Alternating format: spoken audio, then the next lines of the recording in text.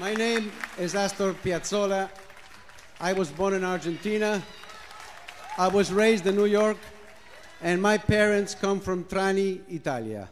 Ah, good. E salute.